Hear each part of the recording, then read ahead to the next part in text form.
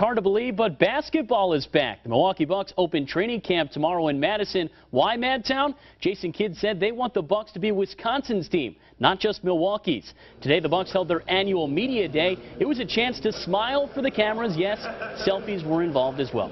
A first look at the new starting five with the return of Jabari Parker and the addition of big man Greg Monroe in the middle. Between the new branding, new faces, and a new arena, it's been a big culture change this offseason, and head coach Jason Kidd believes the city and state are buying in. Well, I think you might see a little bit more Milwaukee Bucks worn on Sunday, uh, where normally it's a Green Bay uh, theme. Just the overall buzz about the stadium, um, the, the, the, season, you know, upon us now, and then training camp. So I, I think there's just a lot of good things going on, and I think everybody's excited about watching these guys play.